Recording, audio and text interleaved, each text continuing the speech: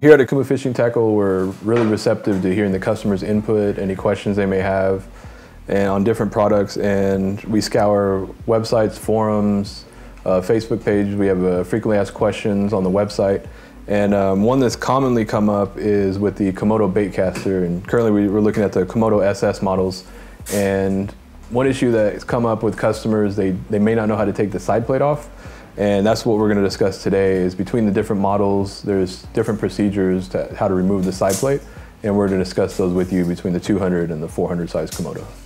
Here we have the 400 and 200 size Komodo, and from the inquiries we've received online and the questions we've seen, there seems to be a little bit of confusion between the models on how to remove the side plate to access the spool assembly and the cast control on the spool itself.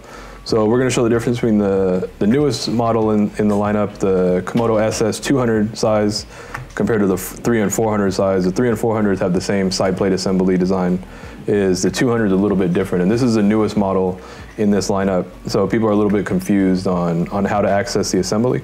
So we're gonna show you the 200 size first. This is the newest one in the lineup. And this assembly is the side plate is opposite from the, the larger sizes is it's assembly that you, it's a twist off.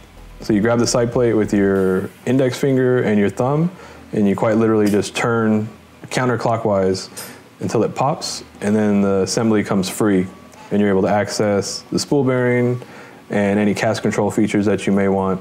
And then to, to reinstall, you simply find the grooves. They match up to the tongues on the side plate itself. You put pop back in in the position, and all you do is just slide back up in a clockwise manner, and it locks right, right back in place. So the 400 size Komodo is slightly different. The design features are the same between the, the smaller 200 size and the 3 400 size. The main difference is the way the spool assembly is removed from the body, and that's by accessing the left side plate. And the way you do that is first you have this one has a thumb bar locking screw, and you actually have to remove this thumb screw by backing off counterclockwise, and it'll shift left and right. You pull it out to the right, and it allows you to access the side plate on the left side.